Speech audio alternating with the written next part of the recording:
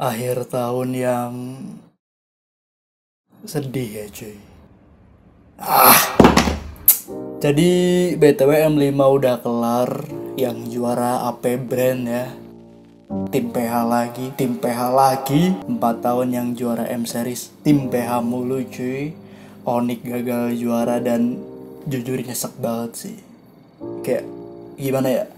Ya walaupun gue tetap fans Geek Fam mania ya dan Geek Fam kalah juga gue sedih cuma ya karena Geek Fam ini timnya banyak struggle-nya ya cuy di M5 ini.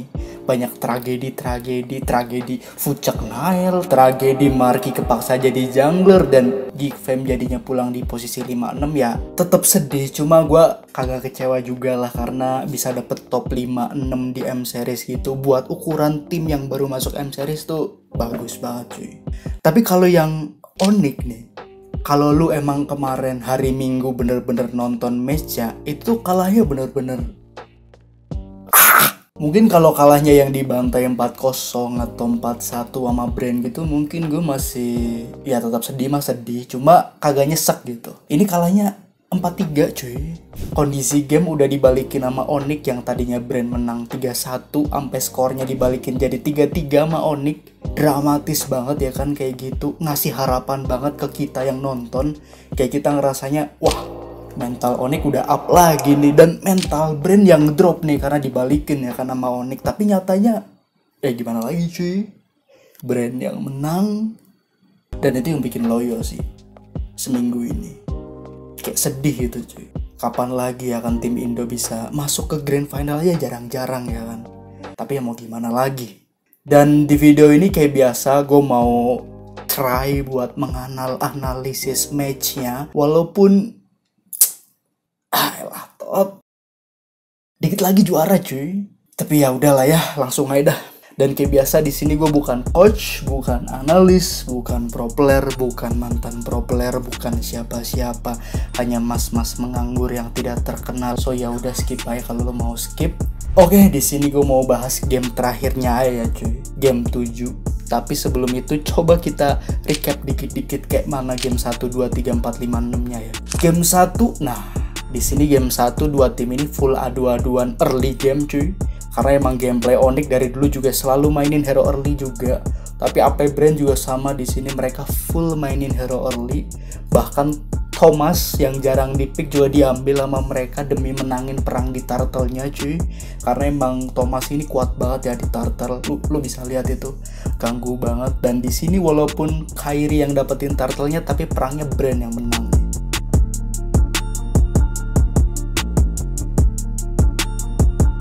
Di turtle yang kedua ketiga juga sama. Onyx selalu keganggu banget sama sapi hijau ini. Hero-hero Onyx kagak bebas banget mau join perang turtle-nya dan early game bener-bener dipegang sama brand di game ini. Jadi brand snowball dan Onyx gak dapet momen samsak cuy di game ini buat balikin. Karena AP brandnya juga mainnya galak terus tabrak-tabrak masuk diajak perang mulu anjay. Ya udah kena makan satu-satu Keyboy nggak dapat momen dan kalah Onyx di game pertama game cepet skor 1-0 lanjut game 2 game 2 brand masih sama cuy pakai draft early trio midnya dan mainnya selalu galak juga dari early game Cuma dari Onyx sekarang udah bisa ngimbangin karena di turtle yang pertama Boots dapat momen buat bacok Kyle Tezinya. Doi dipaksa pulang dan perang turtle-nya jadi menang Onyx. Kairi dapat turtle.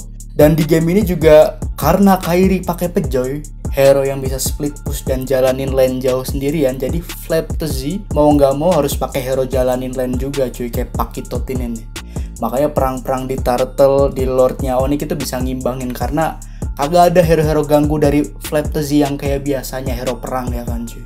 Dan ini ada momen Kairi nyolong lord juga di game ini. Jadi ya game ini kagak jadi game cepet kayak di game pertama. Gamenya ketarik sampai late game dan di late game hero-hero brand apalagi Martit itu di late game gampang banget ditangkap ya kan? Jadi ya udah pas Lord Martitnya mati ketangkep dan Boots sama Keyboy juga bagus banget di sini. Mereka berdua dapat momen cuy. Boots bacok tiga orang dan Keyboy juga bacok tiga orang juga. Jadi gamenya langsung dipegang Onyx di game 2 ini dan Onyx menang game 2 nya skor satu sama. Lanjut game 3. Di sini brand balik lagi ke plan awal cuy mereka mainin gameplay early gamenya dan pakai XP laner team fight lagi buat menangin early turtle-nya. Jadi mereka ban pejoynya Kairi biar gak usah lah pakai pakitot pakitotan lagi kayak game kedua. Mereka pakai XP lane-nya mantri sunat di game ini dan ganggu banget cuy. Lu bisa lihat itu lapu-lapu tiba-tiba dapet turtle tuh terus tiba-tiba ganggu banget di jungle Oni Kairi nggak bisa farming disapu Arlot dibacok lapu. Pokoknya sama lah kayak di game 1 di sini Brand dapet banget momentum early-nya. Dan sampai turtle 2, turtle 3 Onyx bener-bener susah banget balikinnya karena Kairi susah farming cuy. Ketinggalan level. Kegara itu tuh lapu-lapu itu tuh lu lihat satu lawan empat ya intinya game 3 ini sama kayak game 1 Onyx bener-bener gak dapet momen early-nya junglernya dirusuh terus dan Keyboy juga kagak dapet momen. Susah banget nangkep brotonya Super Marco di sini dijagain mulu dan jadinya brand snowball parah. Onyx kalah lagi di game ini. Skor 2-1 buat brand. Lanjut game keempat. Nah di sini Onyx ganti gameplay cuy. Ganti draft juga karena di game 1, 2, 3 Kajaki Boy kan di band mulu tuh cuy sama Brand. Di game ini dilepas nih dan Brand pakai one one juga. So di sini Onyx pakai gameplay culik-culik pick off-nya pakai Kaja nih. Dan di game ini Kairi juga dikasih assassin dan Oni kayaknya di sini nyoba buat kalau emang dipaksa perang early di turtle terus-terusan gak bisa ya udah mereka coba buat main culik-culik kayak satu-satu pakai kaja dan split-split aja terus buat lama-lamain gamenya pakai haya cuy dan ya di game 2 ini playnya bener-bener jalan Onyx di sini early gamenya cuma fokus farming cuy walaupun farmingnya tetap rada susah ya karena ada sapi ganggu ini lagi ya kan. Tapi ya intinya itu di game ini. Onyx sabar kagak maksa perang. Tapi justru di game ini brandnya yang maksa perang terus cuy. Pas momen-momen objektif kayak Lord muncul mereka selalu cari orang tuh cari perang. Dan Keyboy di sini kagak main cuy gameplay culik-culikan kajanya kagak jalan karena dia selalu dikejar dan diajak perang duluan padahal kajanya belum siap. Dan ya kayak lu bisa lihat tuh contohnya tuh pas mau lord itu semak-semak dicek-cekin semua tuh sama brand tuh. Ibo yang ngumpet di semak yang unexpected aja jadi ketahuan dan langsung diajak perang lagi cuy. So ya intinya gameplay culiknya kagak jalan dan mau paksa perang juga. Damage Onyx masih belum bisa ngebalikin cuy. Kalah snowball sama brand. Dan ya udah gamenya kelar cepet juga di sini. Nggak nyampe late game juga. Assassin Kairi MM cewek belum sempet main tapi udah end. Lanjut game 5 nah di sini Oni kagak pakai kaja lagi cuy. Walaupun dilepas lagi sama brand tapi Onyx lebih pilih buat ambil one one buat cewek sekarang. Dan Onyx di sini main draft late game tapi late gamenya bukan Kairi yang main assassin lagi late game di sini Onyx pakai Novaria Kairinya di sini balik pakai jungler tank lagi biar ya biar doi bisa farming cuy. Karena kalau Kairi pick assassin di sini ditambah magia Novaria, MM-nya one one ya hero farming semua dong. Kairi di rusun ntar nggak bisa ngapa-ngapain ya kan.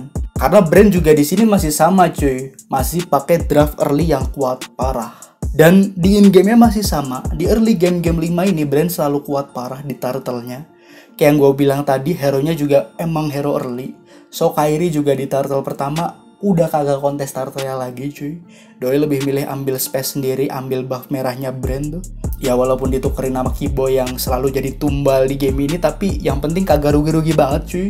Dan untungnya di game 5 ini gamenya ketarik sampai late game Pertama gegara Boots yang selalu split push ya kan, panjangin lane jauh dan itu bikin Super Marco harus selalu clear lane jauhnya cuy. Dan gegara kayak gitu kayak gitu terus jadinya Onyx juga dapat momentum di Lord yang pertama. Di situ Z mati digebukin rame-rame dan Super Marco kagak join, susah join karena dibuntutin mulu sama Boots dan jadinya Lord pertama diambil Onyx cuy. Dan intinya gegara Lord pertama ini Onyx dapat momentum buat mainin gamenya sampai late game lagi. Dan di late game Novarianya Sans, terus one one nya cewek udah jadi. Udah susah banget ditangkap sama hero-hero brand. Ditambah lagi sapinya Kiboy juga dapat momen juga tuh di lord terakhir. Yang itu bikin brand rata cuy di sini. Dan jujur dari semua game di final ini menurut gua game 5 ini sih yang paling campur aduk cuy kayak posisinya di game 5 ini dibolak-balik soalnya. Yang tadinya brand menang early tapi dibalikin lagi sama Onyx, tapi dibalikin lagi sama brand, dibalikin lagi sama Onyx, sama brand lagi, Onyx lagi. Pokoknya pecah parah dah game ini. Tapi untungnya ya itu tadi di momen lore terakhir Onyx yang dapat momentumnya cuy. Dan akhirnya Onyx menang di game ini. Skor 3-2 cuy.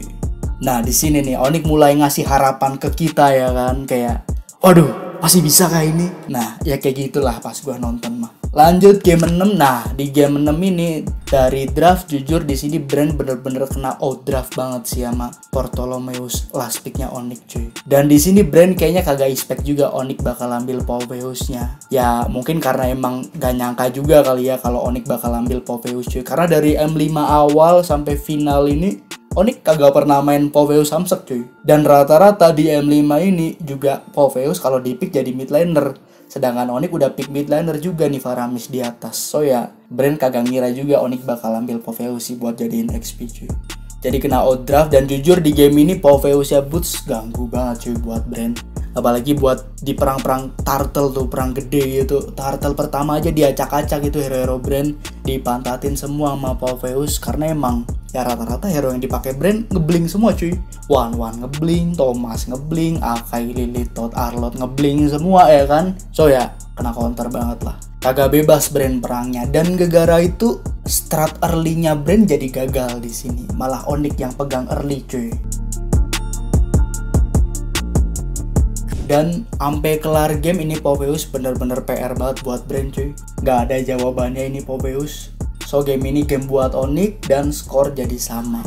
Tiga sama. Nah ya udah itu aja sih recap game 1 sampai 6 nya gamenya jujur sangat-sangat seru ya cuy. Dan udah lama banget gue nggak ngerasa se-emosional ini lihat match final.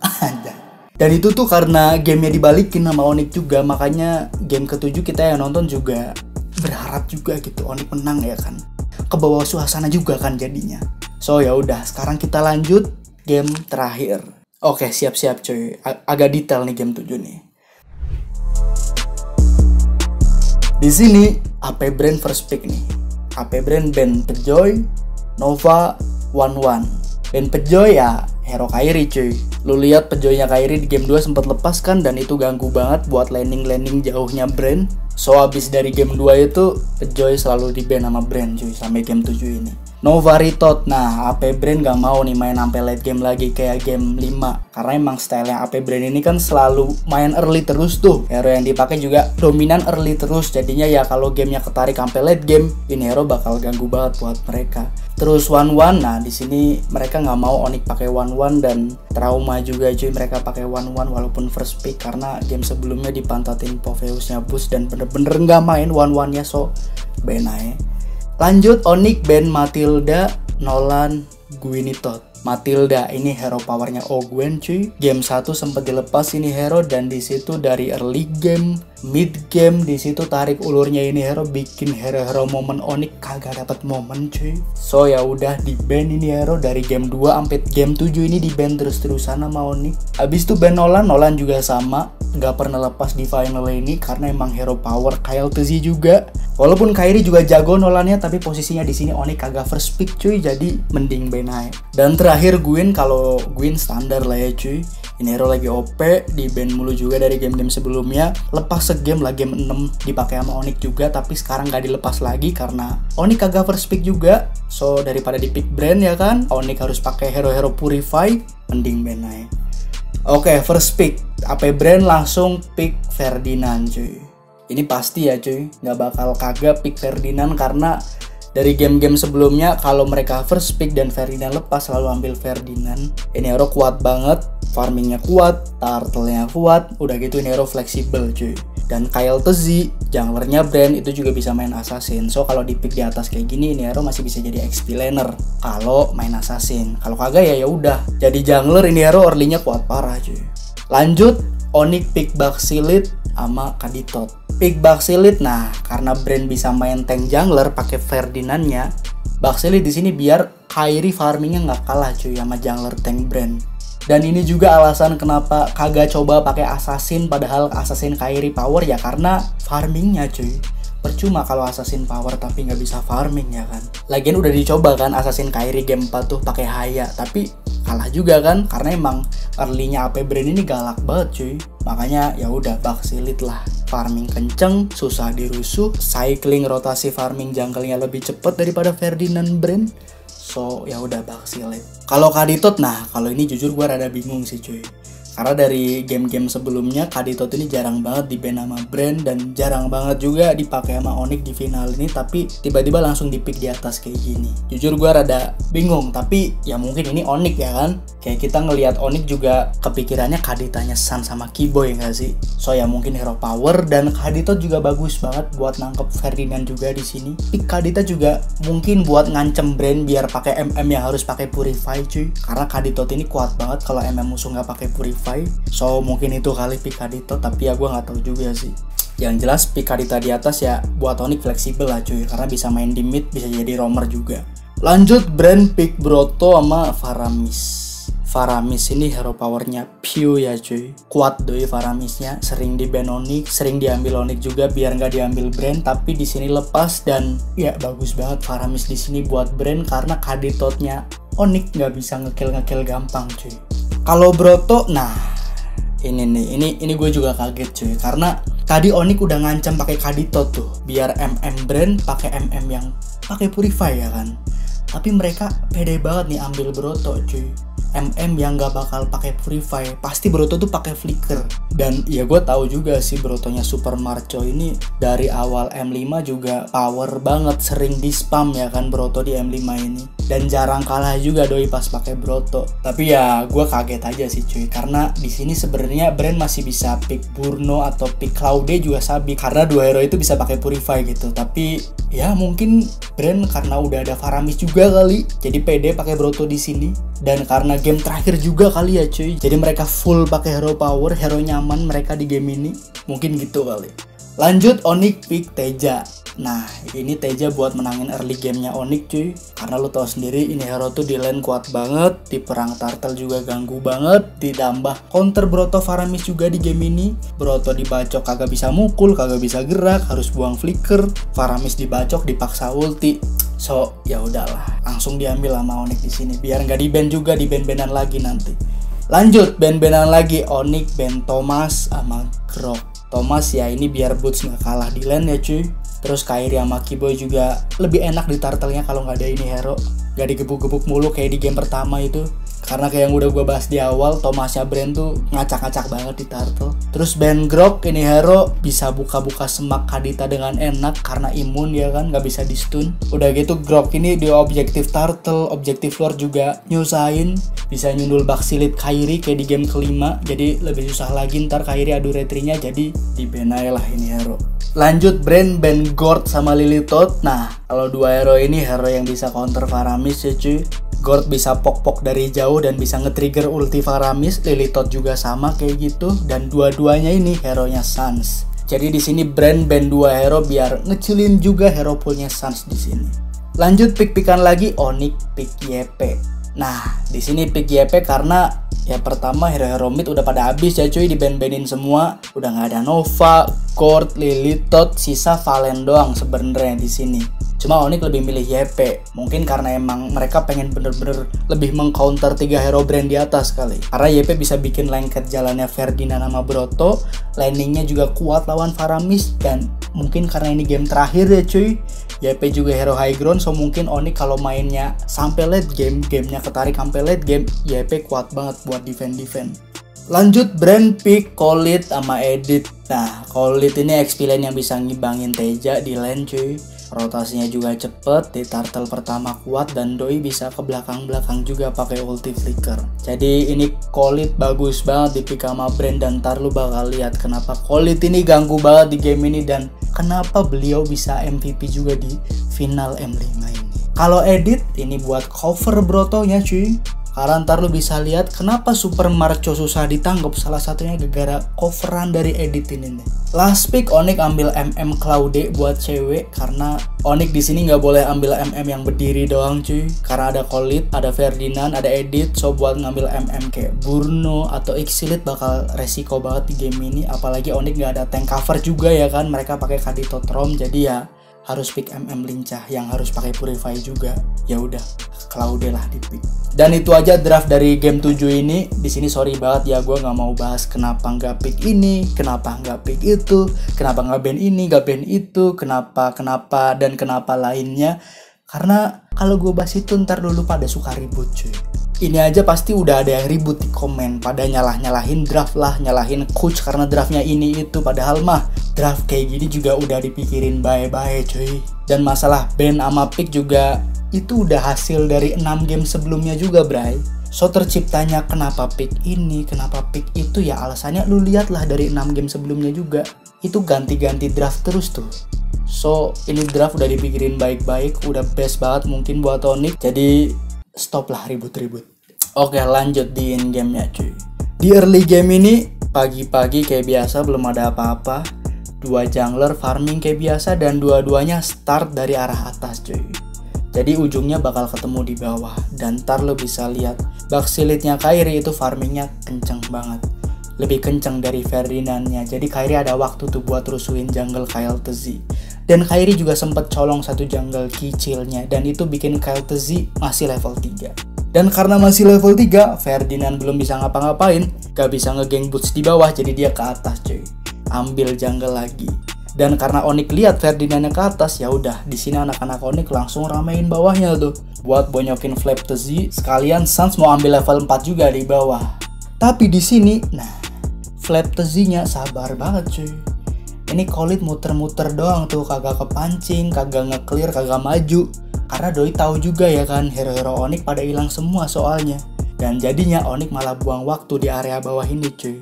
Yang jadinya Onik kalah timing telat join ke turtle-nya. Dan lu bisa lihat Kyle Tezi udah tarik turtle-nya duluan tuh.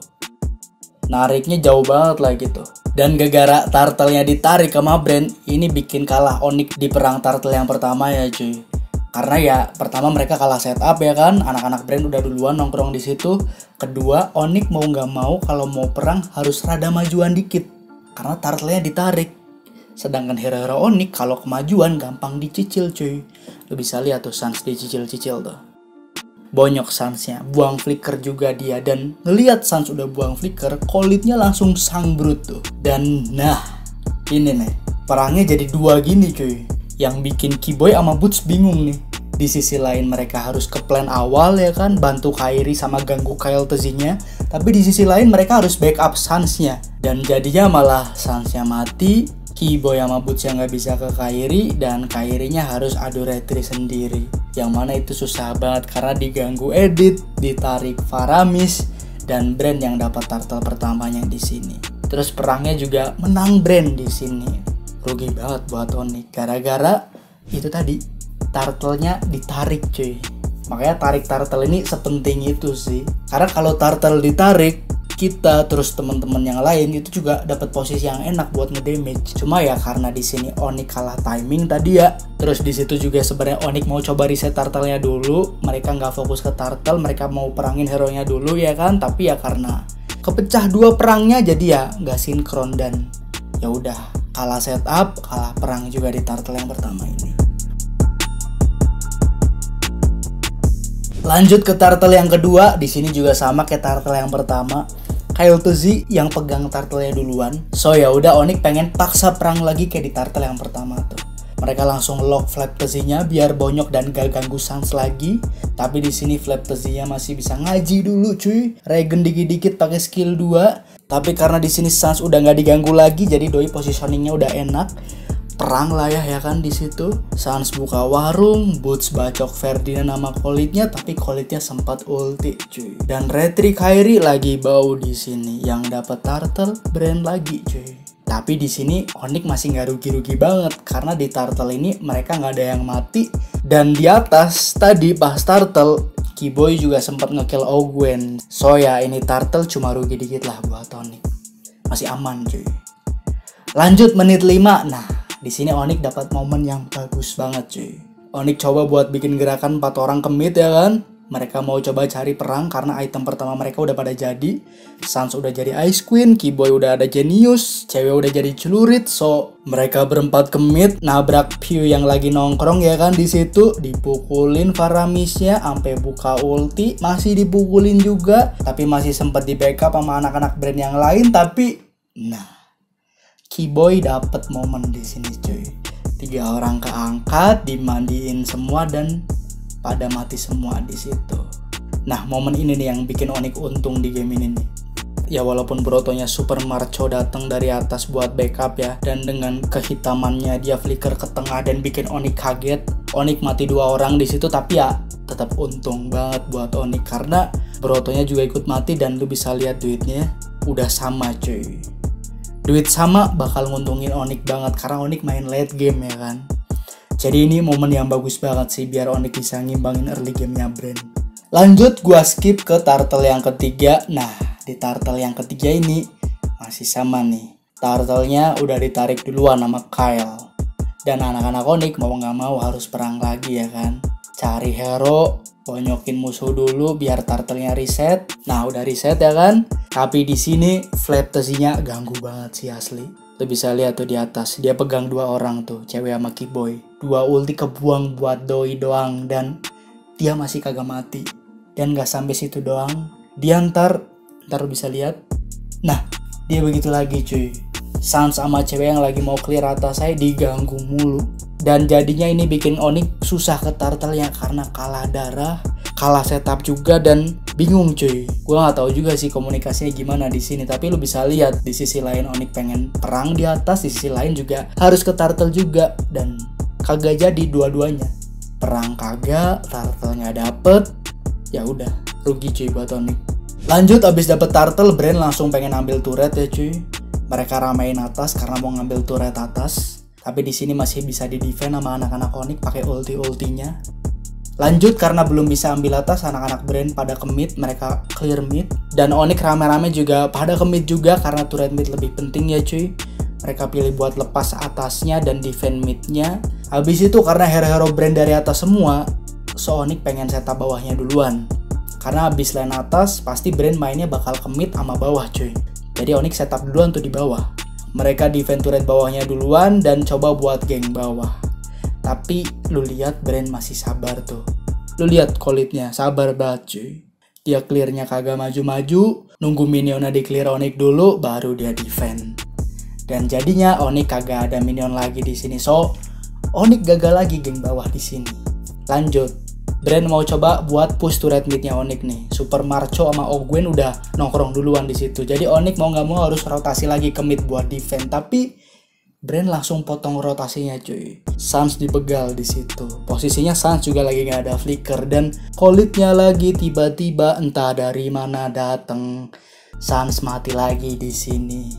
Lanjut Keyboy juga mau backup pakai konsil tapi udah telat cuy dia mau coba balikin pakai ulti tapi nggak bisa. Ultinya di cancel cancel mulu sama om om beton itu dan Kiboy malah mati juga di sini. Onik mati dua. Dan karena Onik mati dua timingnya juga pas banget. Lord udah muncul. Ya udah AP brand langsung all in ke Lordnya cuy. Dan Onik mau nggak mau nggak bisa kontes di sini karena kurang orang kurang skill juga ya kan. So Onik bakal defense Lord pertamanya dulu dan sambil nunggu lore pertama muncul, di sini hero-hero brand pada ngumpul di buff merah dan Onyx mau coba buat sandwich depan belakang tuh. Kairi tabrak di belakang, tapi dari anak-anak brand kagak ada yang mau war tuh cuy. Pada balik semua. Kagak ke trigger, kagak ke pancing. So, di sini Onyx gagal lagi buat perangnya. Jadi mereka balik lagi dan nunggu lordnya datang dan ya udah cuma bisa defend lordnya cuy. Lanjut abis lordnya bersih, di sini Brand mau nyoba ambil objektif buff birunya Kairi dan perang lagi lah di situ jadinya. Di situ Kairi tabrak Kyle-nya sambil dia bait-bait dikit ya kan player-player brand yang lain biar pada ngumpul dan mukulin dia. Dan pas anak-anak brand yang lain pada ngumpul, Boots langsung bacok kena 4 orang cuy. Sans juga langsung ulti di belakang tapi lu lihat nih Kiboy mau ke belakang, mau meluncur ke Broto ya kan pakai Petri, tapi dibegal cuy sama Ogwen di situ tuh. Kayaknya juga dapat info langsung cegat Kiboynya juga tuh. Dan skill satu Kiboy nggak nyampe dan ya udah Brotonya selamat di situ, kagak mati, kagak buang flicker juga malahan dan malah boot sama Kibo yang mati. Nah itu tuh cuy salah satu alasannya kenapa Brotonya Super Marco tuh susah banget ditangkap ya. Walaupun Onik udah pakai tiga hero counternya nih, YP, Teja, sama Kaditot, itu susah banget ditangkap karena banyak banget coverannya. Dan kalau lu lihat perang yang tadi nih, pas hero-hero brand yang lain pada mukulin Kairi, fokus ke Kairi, Owen di situ kagak ngeluarin skill sama sekali cuy. Dia cuma ngeliatin doang, ngeliatin Keyboy di mana. Dan pas perangnya dibuka sama Tejanya boost pas ulti itu juga Owen diem aja di situ sambil ngeliatin Kiboy doang di mana. Ntar pas Kiboynya mau datang dijegal sama dia. Nah, itu tuh yang bikin Kiboy juga kagak main di game ini.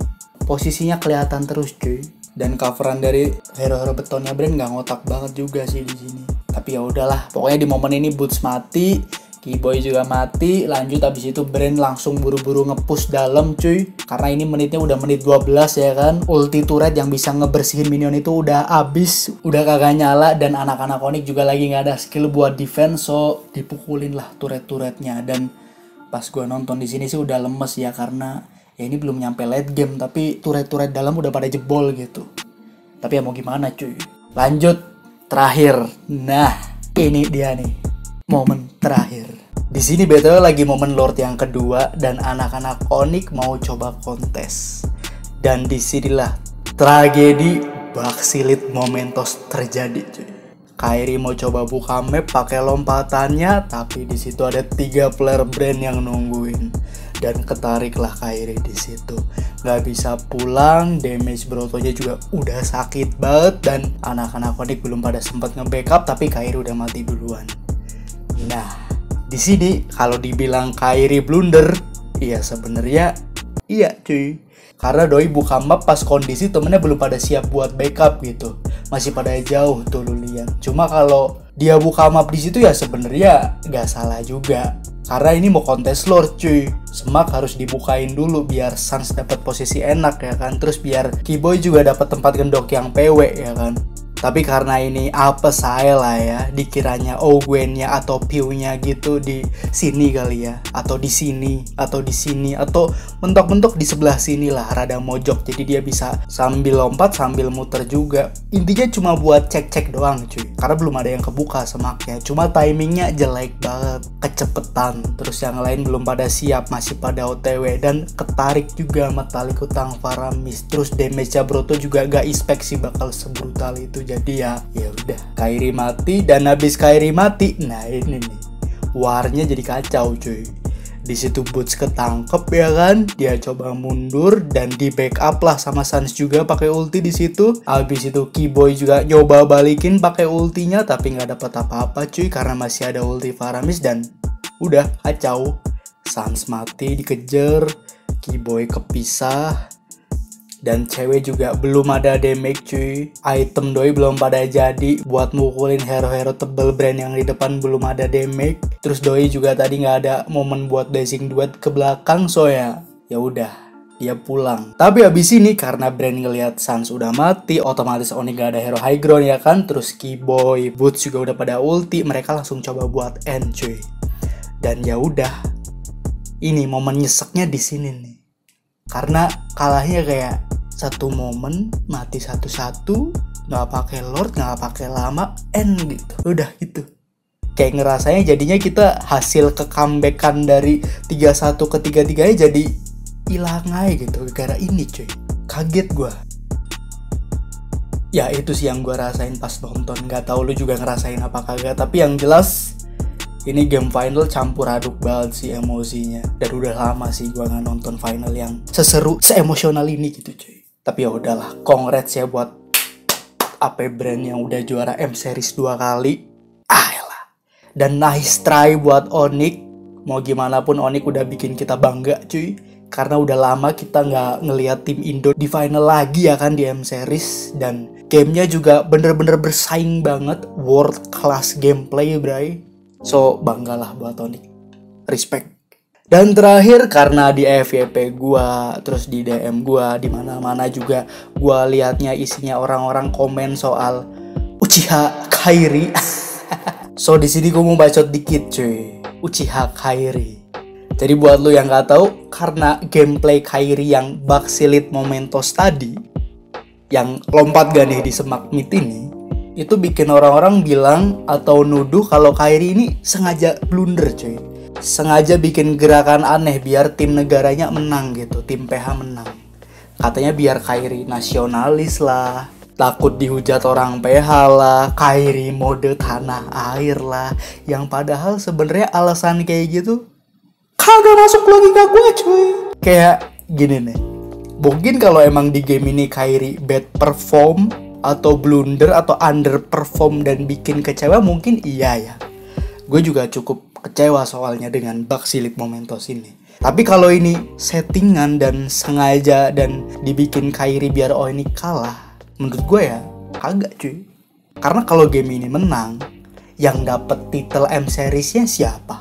Onik kan, Kairi juga kan yang ngelengkapin titel juara MPL, juara MSC yang pro player lain aja jarang ada yang punya siapa? Kairi juga kan. Yang dapat duit juaranya siapa? Yang naik gaji abis juara siapa? Yang harga transfernya naik siapa? Yang gameplaynya bakal di respect sama banyak pro player di dunia ini siapa? Yang bakal dikenang muntun dan mengukir sejarah di M5 siapa? Onik kan kalau menang. Kairi juga kan So ya menurut gue kagak masuk akal sih alasan-alasan Uchiha Kairi ini. Rugi sendiri soalnya dia cuy. Lagian ini M series ya kan. Turnamen antar tim, antar klub, bukan antar negara cuy. Ya emang sih perwakilan negara, tapi kan tetap yang dibawa nama tim cuy. Kalau menang ya yang baga tim itunya sendiri kan. M Wang yang juara EVOS emang perwakilan negara, tapi yang seneng fans-fans EVOS juga kan. So ya menurut gue nggak masuk di kepala gue sih. Lagian kalau Kairi sengaja kalah, sengaja blunder, apa untungnya buat dia juga cuy? Duit kah? Respect dari orang-orang PH kah? Yang ada kalau dia sengaja-sengaja kayak gitu ya kena sanksi dong sama Muntun. Match fixing dong, pelanggaran, didenda dong. Di band gak boleh main MPL 30 tahun gak sih kalau kayak gitu. Jadi ya, ya nggak tahu dah kalau kalian percayanya Kairi impostor Uchiha Kairi ya ya udahlah terserah kalian capek ngebacot gue juga cuy ntar gue dibilang penyepung Kairi lagi ya, ya. Tapi ya ya udahlah cuy. Kalah mah kalah aja nggak sih cuy? Ya walaupun nyesek ya dan pasti ntar banyak yang komen dan alasan kayak coba kalau tadi di game 7 band Broto. Ya orang Brotonya di pick di tiga awal cuy. Ya kali Ben Broto lepas Gwyn lepas Matilda atau Nolan lebih susah lagi ntar gamenya. Terus misal Ben Broto nih Matildanya lepas terus Onik tetap kalah ntar komen juga. Coba tadi kalau Ben Matilda ya elah atau alasan apa lagi Coba kalau tadi yang main Albert bukan Kyrie, ya elah cuy. Albert dari season kemarin juga latihannya gold lane terus dikira ganti role di turnamen gampang kali kayak di rank. Ya gue nggak tahu juga sih di belakang Albert latihan jungler lagi apa kagak. Tapi ya kalau kalah juga sama etot. Albertnya juga dihujat karena malu lu pada. So ya udahlah sat